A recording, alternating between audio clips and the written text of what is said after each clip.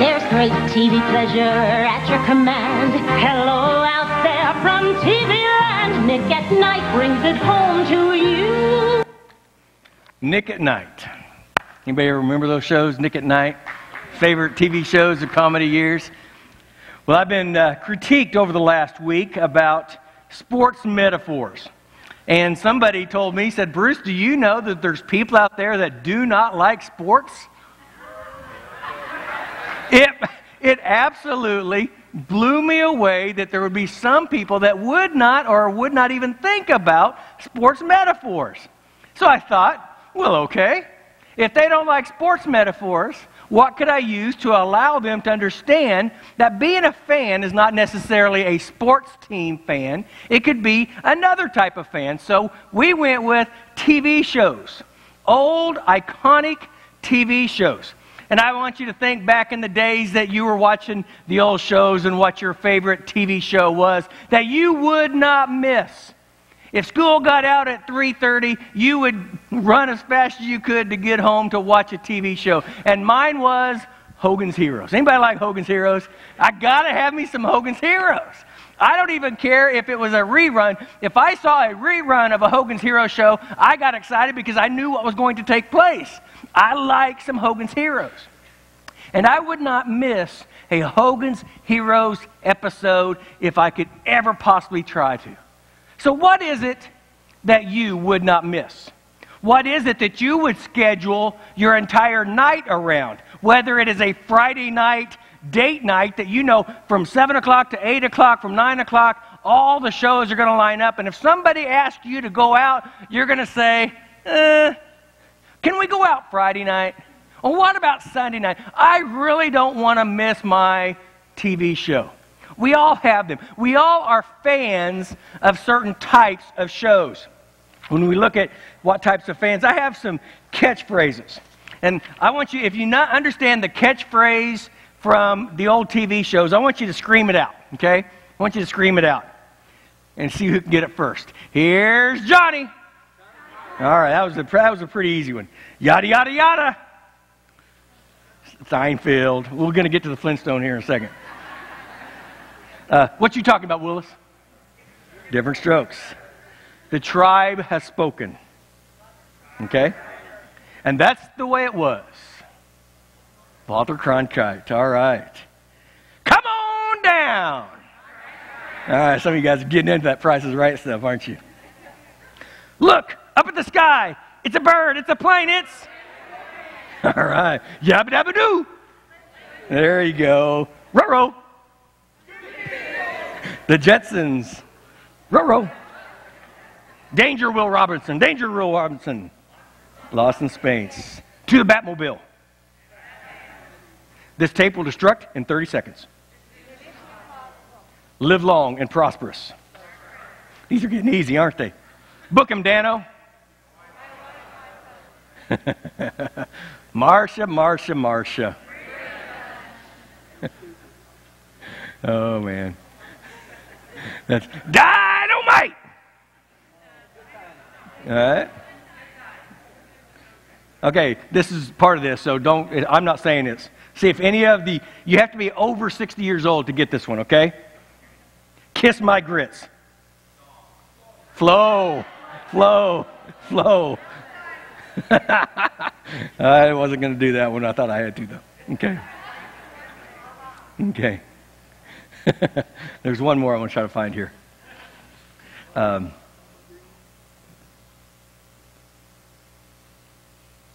oh, well, let's forget it. Okay. Some of these are, they're not all Christian perspectives, so I was trying to pick out the good ones that I could say in church without getting in trouble. Okay? So, when you're looking at catchphrases and things that's going on and things that you like and things that you remember, there's always type of things with a, a, show that's going to catch your mind. A show that all you have to do is listen to the song of the iconic songs of the past. You're going to go to your mind and you're going to remember that TV show or you'll remember that movie. Those are the shows that have ingrained within our life. I want to say that sometimes being a fan of a show, being a fan of an event, is something that we enjoy, but it doesn't do any transformation. What we want to do is we want to talk about what is it that we are a fan of that transforms our lives to be followers and dedicated followers of Christ. Next week, we're going to take, we're not going to do sports again next week. I'm going to hit some of you ladies big time next week, okay? So this is, um, that's what I'm going for. I mean, the guys, we hit it the first two weeks on sports. Next week, we're using novels. Uh oh. We're going to use, let's say, Fifty Shades of Grey. Oh, okay. No, I didn't read that. I don't know what that's talking about. Or we may talk about Harry Potter. We're going to talk about different novels that once we pick those books up, we'll spend hours reading those books. And we're enthralled with those books. We want to read it. We want to get done with it. It may be Louis L'Amour for, for the Westerns, for us guys, but there's certain books that we sit down and we will not take a break until we watch and we read the entire book. Well, the analogy then will be if we love the book so much, why don't we read a book not for entertainment but for transformation? And if we are a fan, we've got to take what is important and change our lives. In Luke chapter 9, verses 23, it says this Then he said to them, If anyone wants to come with me, he must deny himself, take up his cross, and daily follow me. So, church, what Jesus is saying in his ministry, he goes, Guys, I don't care what you do. I don't care about your enjoyment. I don't care about your free time. What I want you to do is I want you to realize that I need to be the priority of your life. I need you to take up your cross not weekly. I need you to take up your cross daily and follow me.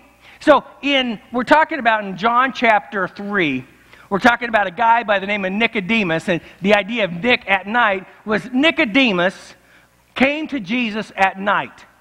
And he was inquisitive to say the least. He was wondering what all this stuff was talking about. He was a Pharisee. He was the Christian leader of the day. He was one of the highest in the church. And Jesus came into town, and, Jay, and at the start, he was turning water into wine. He was healing the sick. He was casting out leprosy. And the religious leaders of the day were watching Jesus do his thing. And they were inquisitive about the power that Jesus had. They didn't understand what it meant to be born again the terminology was brand new with Jesus. Now, nowadays we have the term born again all over the place. Jimmy Carter, president, you say, I was born again. And, and then all the conservatives thought, yeah, we have somebody born again in the White House, but we found out his born again was not biblical born again. It was his own perspective. Now we have Madonna that says she has her baby. Now she's born again. The born again that Jesus is talking about is not a fleshly born again, it's a born again of a spiritual nature. And what we're going to do is talking about today what does it mean to be born again in our culture? How can we take Nicodemus, a religious leader that knew everything in his head?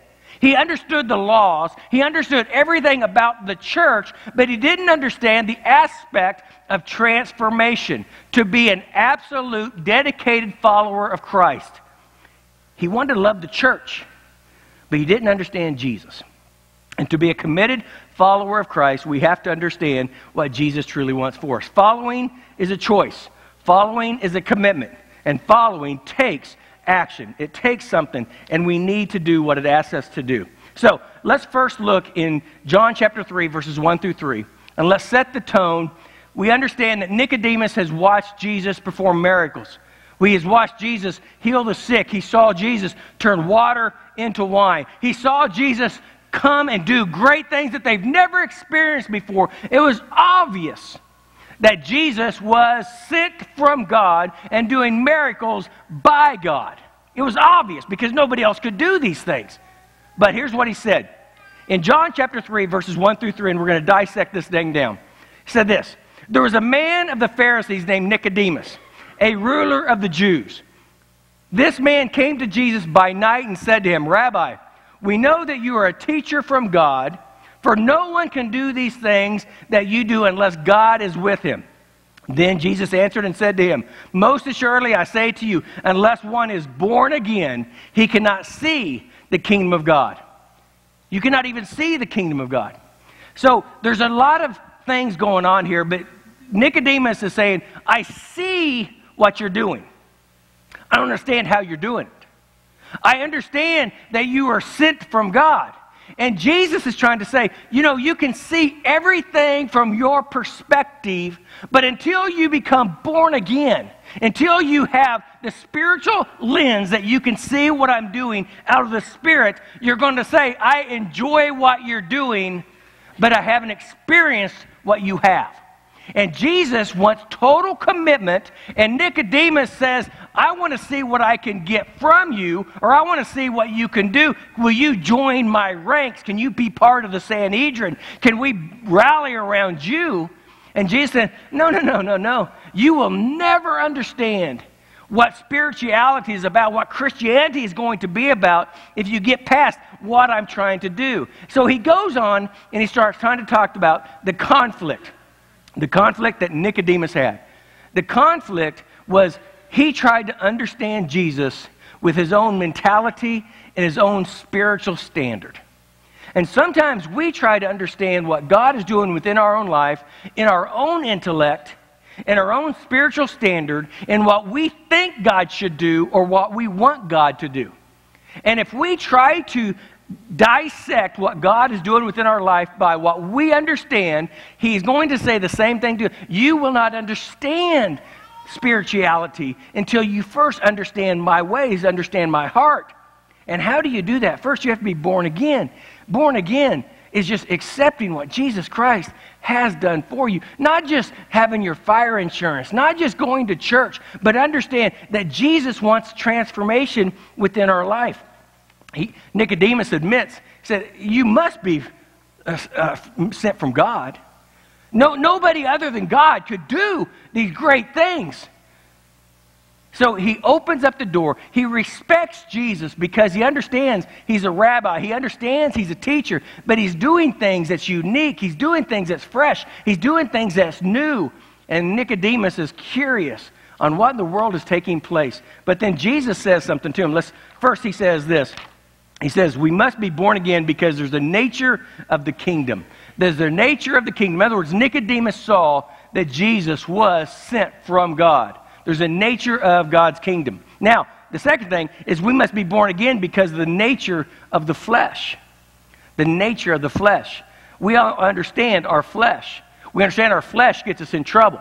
We understand that Nicodemus is trying to do good. Their mindset is if I know the law, if I understand the law, if I make everybody try to obey the law, then I am going to get better and I'm going to be in a higher position and I will be okay with God because I'm doing everything the law says I should do. In many churches, we try to be good enough to go to heaven. And we can't be good enough to go to heaven. Kevin Song that's saying so well, being redeemed, he, he, he says he started thinking about all the things that he used to do within his life. And he can't get out of his past until he met Jesus. And when Jesus came into his life, he was, what's the word? Redeemed. That means he's bought from. He's, he's not held to that account. And sometimes in churches today, we get caught in the legalistic mindset that I have to live good enough have to be something in order to be redeemed. And Jesus is trying to communicate to Nicodemus in this next phase here. He says, It's not about your position in the church, it's not about what you know and what you do. It's not about the heritage in which you come from. It's not about you being a Jew, and it's not about what you have done. There's a different perspective from being born again in our analogy today, it doesn't make any difference if your mom and dad go to church. It doesn't make any difference if they have been to church all their life and you've been to church all your life. It doesn't change the fact that you individually must be born again in order to receive the salvation of Jesus. And it is a personal act of worship. Now, he goes on in John chapter 3, verses 4 through 8. Nicodemus said to him, how can a man be born again when he is old? Can he enter a second time into his mother womb and be born? Jesus answered, Most surely I say unto you, unless one is born of water and of spirit, he cannot enter the kingdom of God. That which is born of the flesh is flesh, and that which is born of the Spirit is spirit. Do not marvel that I say to you, you must be born again. The wind blows where it wishes, and you hear the sound of it, but you cannot tell where it comes from and where it goes. So is everyone who is born of the Spirit. Say, when you are a child of God and you use the terminology of born again, you're not entering into your mother's room to be born again. But what it is, once you have received the Holy Spirit's power, and once you've accepted the gift of salvation that Jesus Christ has given to us, we are going to make an impact. We are going to be able to be what God wants us to be. We cannot continue to try to live in the Spirit on the outside perspective, but not have the Spirit within our life. We're trying to live what we call a dichotomy, living in the flesh with acts of the Spirit. And when we live in the flesh in our life, but yet we want people to think that we have a spiritual nature, what we have is we are confused. We're tossed to and fro. We have no idea what we're going to do. And Jesus is saying to Nicodemus, You can't do both. You will never understand the work of God until you understand the salvation, being born again, is of a spirit. It's not of the flesh. You cannot understand what I'm getting ready to do until you give up your religious prestige and give up and give into my humility of accepting that there's only one way to heaven. And it is not about positional religion, it's about humility and saying, I am going to accept Jesus as my Lord and Savior. So often, we have a lot of religious fanatics that tell us what we should do in order for us to be successful. And they can tell us, and they can tell us all the laws, what you should or what you should not do, or what you can or what you cannot do. And all those things are good, and they're all probably right to a certain extent. But all the good you do, everything that you try to do, every penny that you try to give, every sermon that you try to listen to, all of those things are good for us. But it all boils down, all those things are the works. Unless we first boil down our hearts and we get down and say, Lord, I need you as my Lord and Savior. And once I have accepted you, I have been born again. Then after I am born again, after I've come to the point that that is my beginning point, then I can start doing certain things. Then the wind of my life will blow and people will hear it and people will experience it. But I cannot live in the flesh and try to act like I'm in the spirit and have God's power within my life. When we try to do that, what we become, we become tossed to and fro, and what happens is we become hypocritical, and then there is no there's no joy within our life. We wonder what takes place. We wonder why things are falling apart because we cannot do certain things, and when we can't do them, we get frustrated. And then when we get frustrated, what we do is we quit. You have to be born again. Verse 8 reminds us we do not know where the wind comes from and we don't understand it. You need to put a date to your conversion. It's not a salvational thing, it's a testimony thing. I would challenge us. You know, some of us were, were saved when we were six, seven, eight years old. Some of us were baptized be, before, you know, before we even started school. But some of us were 18, 19 years of age. Some of us were 30 and 40, and some of us maybe even 60 or 70 years old when we were saved. Salvation is important. Now, you may not need to know where you were, what you were doing, the place, the time, the event, and you could tell, but there should be a uh, an opportunity for you in your salvation experience to say, there was a time. There was a time where I did not know Christ. And I was living my life for my flesh, and I was living my life for myself. But there was a point where something took place, an event took place. Maybe something horrific took place, or maybe it was God ordained moment in time for your salvation, and you say, That was it. That was when the light bulb clicked off in my mind, and I said, Yes. I am going to humble myself, and I'm not going to live in the flesh anymore. I'm going to live for Christ, and I'm going to accept Him as my Lord and Savior. Now, if there's a moment, if there's a time, I would encourage you to ingrain that, write it in the Bible, put it in your mind, because that is the moment that Jesus wants you to start living your spiritual life in. You cannot be held back because of your past, pre salvation. You have to say, you know what? That's who I was. I was in the flesh. And we say this all the time. Sinners are supposed to do what? Sin. But once you're saved, once you have given your life to Christ, once you're born again, that salvation experience should be the transformation start. It should be something that we enjoyed in the past because that's what we were supposed to do. But once salvation occurred, the past is under the blood of Jesus Christ, we should say no to the past, open up the opportunity for Christ to forgive us today, and move into a radical, transformed life into the future. If that moment in time is something that you have no idea that took place, maybe that you've always gone to church, maybe you've always done something, maybe it's something that we have done old hat, we're just like Nicodemus. We know all about church, we know all about the law. But you're sitting here today and say, What in the world is this born again thing? And Jesus is trying to get to us and say, You know what? The bottom line, Nicodemus, you could be a ruler of the church, you could be the head of the synagogue. Everybody in the church could think that you're the most important, most pious, most important spiritual person that they've ever known. And that's all in the flesh because people will not perceive what God is doing within your life through flesh.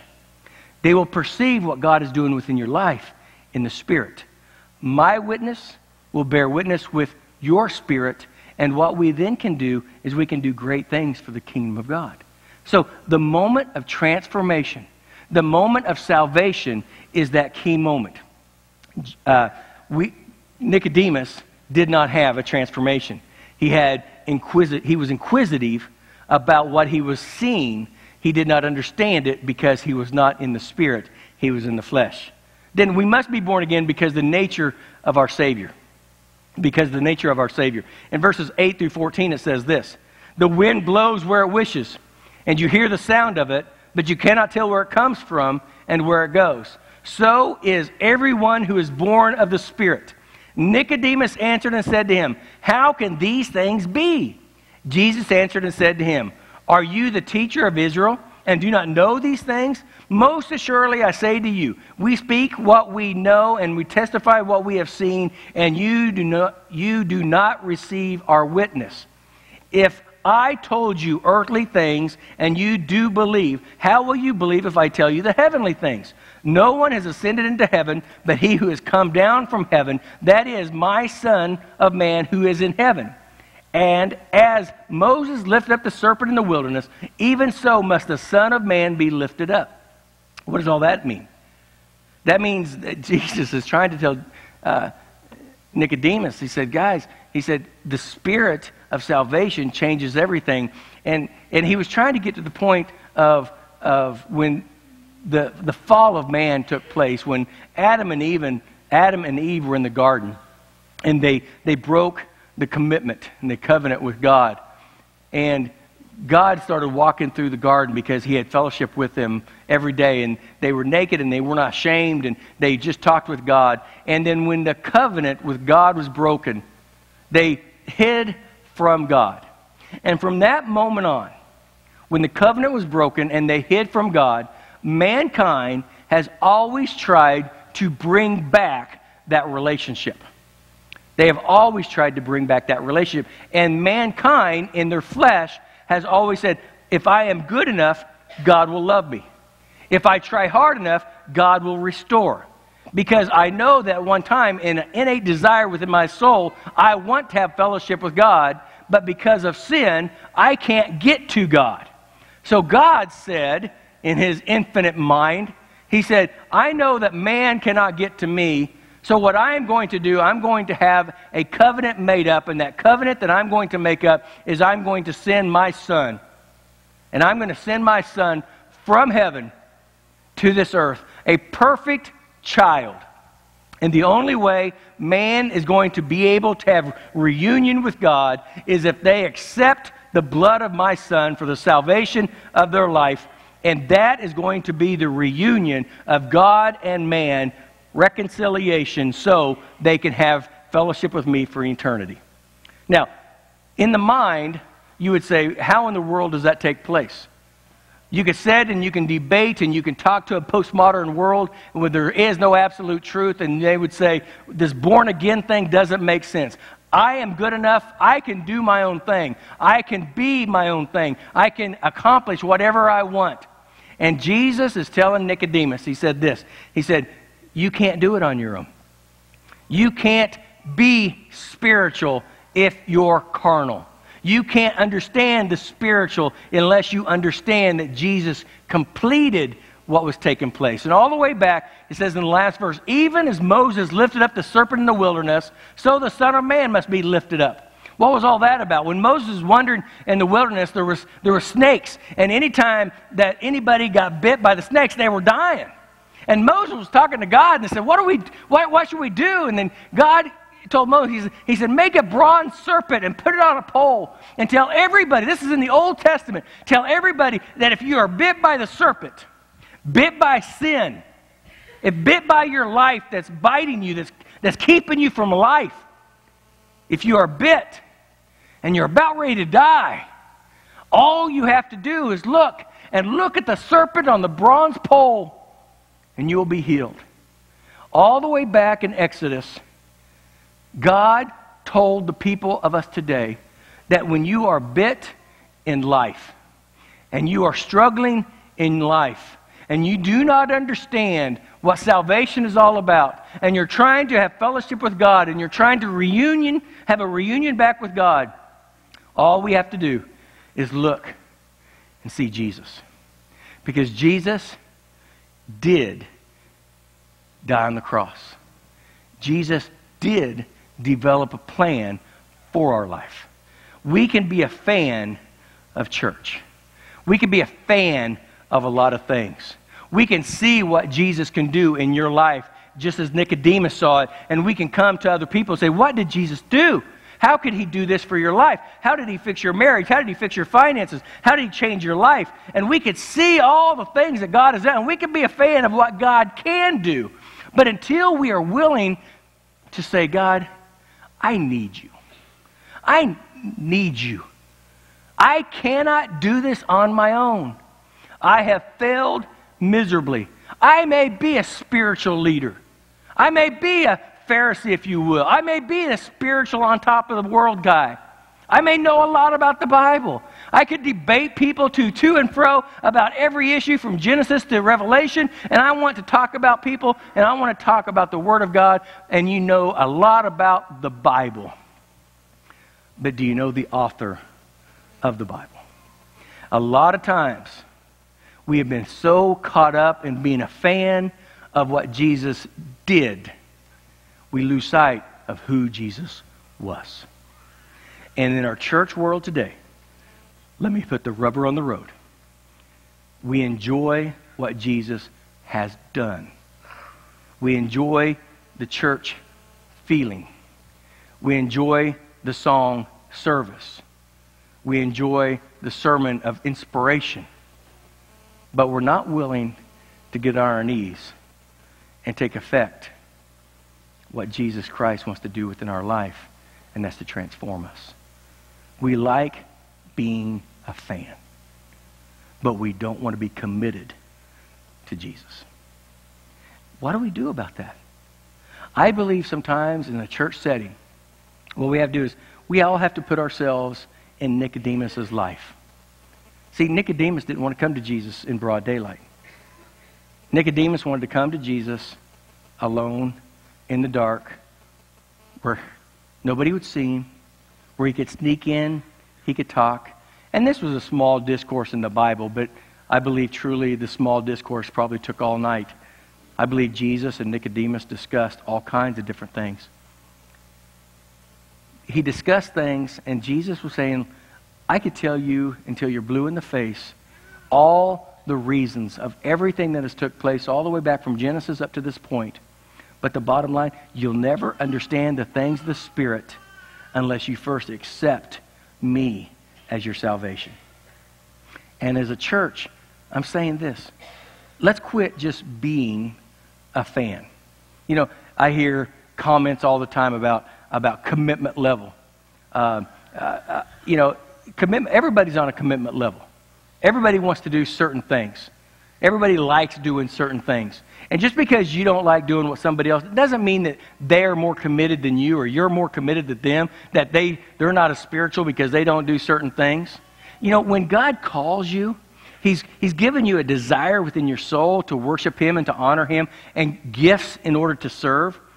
If we have a commitment level, we must give our commitment to Christ, whether it's through the body of Christ or whether it's outside the church. We must serve people.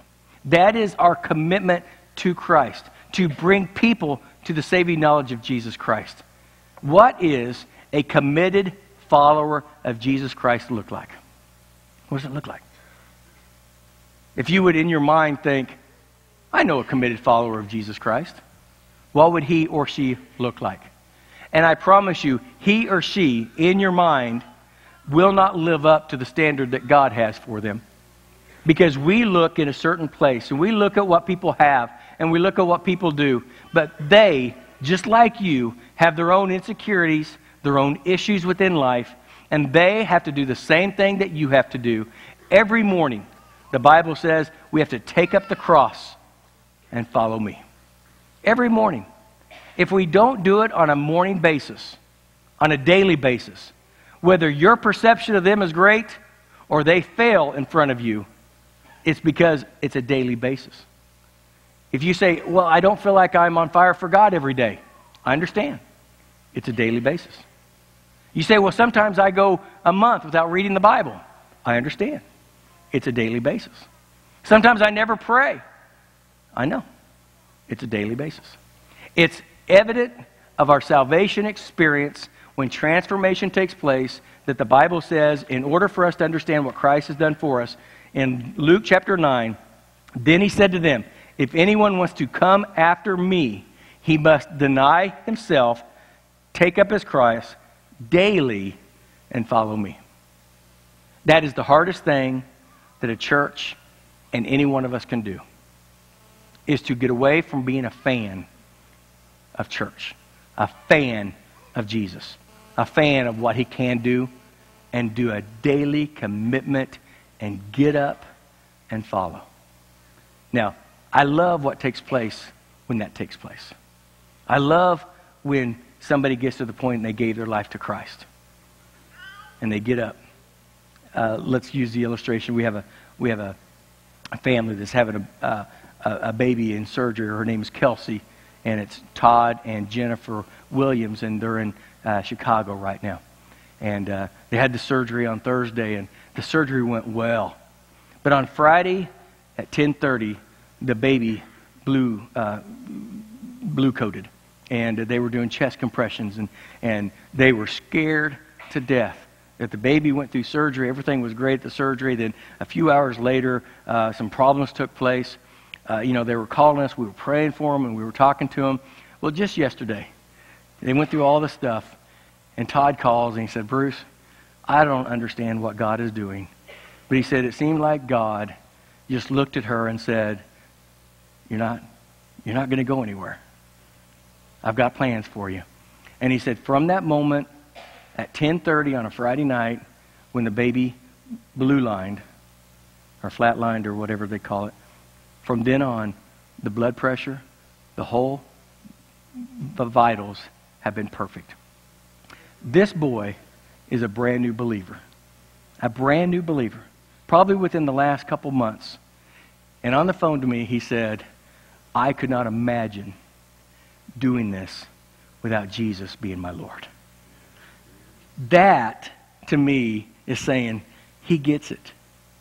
He gets it.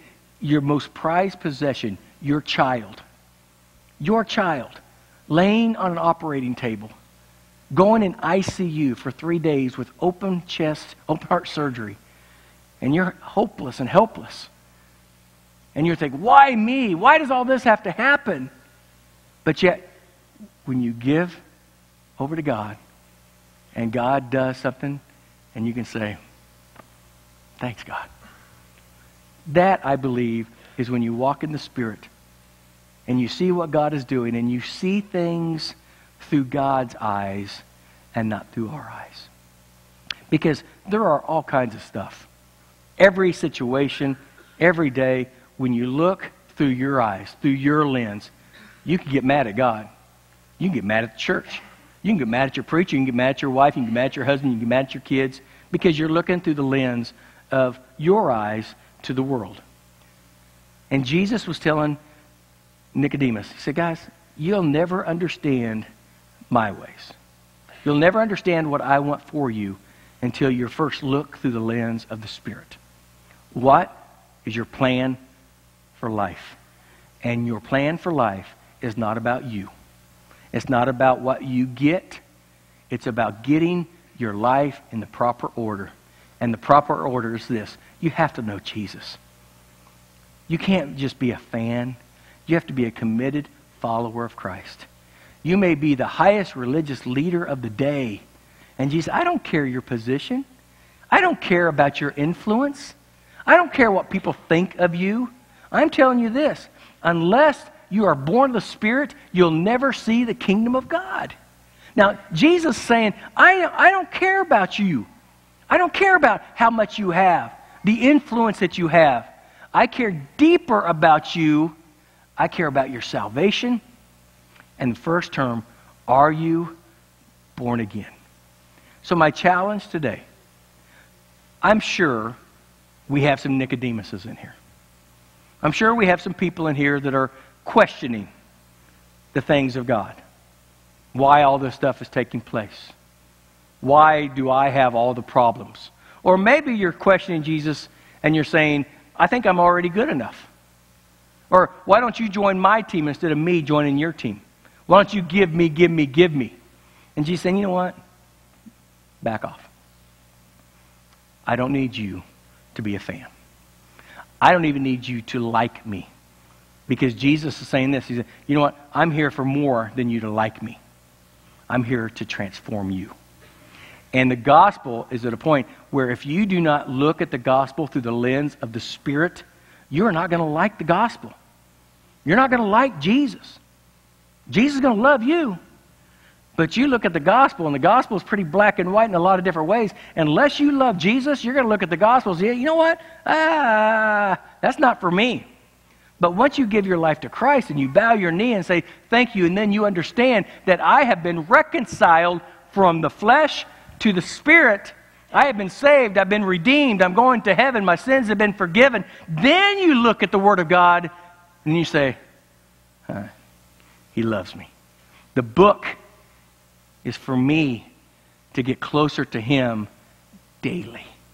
Then we understand I'm not just a fan, I'm a dedicated, committed follower of Jesus. You want to see a church? Do you want to see a life? Do you want to see a family transformed? Quit being a fan of the church. Quit being a fan of Jesus. Be a committed follower a dedicated, unyielding follower of Jesus and say, I will do whatever you want me to do. It may start with you first being introduced to the one that can transform your life. Many of us have gone through life with a roller coaster ride. And many of us are saying, I've done this before. I've been here before. I've heard sermons before but nothing has ever transformed my life. I'm saying, until you take up your cross and follow me, until you get to the point that you understand, I need something to change my life. And Jesus' salvation is not a magic pill. It's not something you're going to come down at the front and you're going to say a prayer and you're going to walk out and everything's going to be great. No, you're going to walk down here you're going to accept Jesus as your Lord and Savior because of what He's done on the cross for your sins, and you are going to be transformed. But in the midst of that transformation, the Word of God is your blueprint in order to get to where God wants you to be.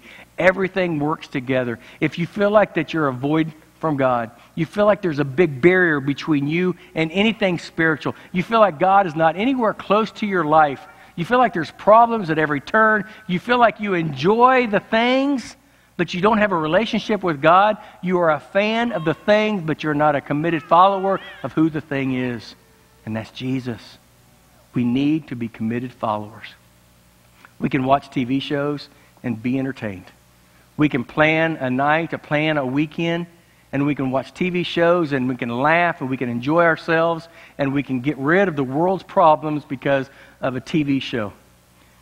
And that's fun for a couple hours. But once that TV show gets turned off, reality is back on, and you deal with truth. The TV show was fun, but doesn't change your life. I need somebody that's going to radically change my life. I need Jesus to not only be in my life, to be control of my life. So my challenge, are you a fan? Or are you committed? Do you have Jesus as the Lord of your life? If he is not, we are going to go through this deja vu over and over and over again. Nicodemus came to Jesus at night because he was ashamed. Jesus called it black and called it white and said, if you do not have the Spirit of God within your life, you will never understand the things of God. If you do not understand the things of God, come to Jesus with a pure heart, an open heart, and you say, Lord, what must I do to be saved? And let the Word of God change you. And I guarantee you, it will radically change everything about you. First, we have to come to Him. Once we come to Him, we will see the world through the lens of the Spirit and not the lens of the flesh. That is a wonderful thing. Let's go to Lord in prayer. Dear Father, Lord, we come before you, and Lord, we thank you for your love to us, and I pray that you'll guide within our life. And Lord, it's easy sometimes to come to you when we're alone at night when nobody's around, when we're contemplating the things within our soul and things within our mind, and we can ask you questions. Lord, just like Nicodemus did this at night, you confronted him. He did not understand the things of God. He understood the things of the church. He understood the rules and the regulations. He didn't understand the Spirit. And Lord, I think that sometimes within our church, we make it so easy to come to church to assume the coat of religion that we leave out the intimacy of Jesus. So, Lord, I ask you today to take off our coat of religion, the coat of Christianity that we can all hide behind, and look deep within our soul of our intimate desire to be a follower of Christ. And if we are sitting here today, and we are not happy where we are spiritually. We're not satisfied with who we truly are. Lord, you and you alone know where we are. We can act the religious game. We can play the game all day long. But Lord, you know the truth. So, Lord, search our hearts today. Convict us where we failed you. Lord, if we've never accepted you, if we're trying to play the church game in the flesh, we will fail every time. And ultimate end is life in hell without you. So the prize of this is so important. The prize is heaven. The prize is a relationship with you. So allow us not to enjoy church, but to be a committed follower of Jesus. Be with us today. In Jesus' name we pray. Amen. Will you please, if you would stand.